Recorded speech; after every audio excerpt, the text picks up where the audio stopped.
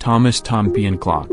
Another one of the most expensive clocks in the world is the rare gilt brass and tortoise-shell timepiece produced by renowned clockmaker Thomas Tompion in England around the turn of the 18th century.